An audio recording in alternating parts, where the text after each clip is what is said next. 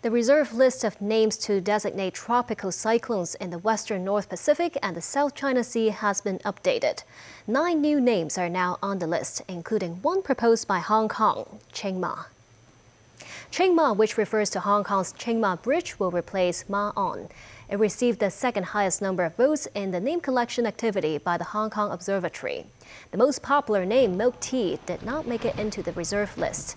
The new names introduced to the list are North Korea's Jimjari, a dragonfly, Japan's Tokei, a clock, Laotian endangered animal Ongmang, a deer, and South Korea's two entries, Gosari and Hodu, which refer to the traditional fern ingredient used in bibimbap and walnut, respectively.